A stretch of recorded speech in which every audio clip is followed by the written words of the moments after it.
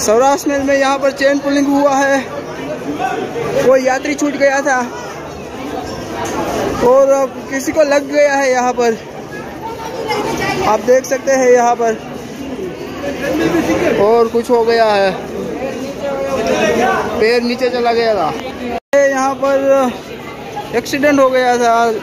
यहाँ पे औरत का पैर ट्रेन के नीचे आ गया था। बंदर देख सकते हैं, फिर यहाँ पे चेन पुलिंग किया गया है।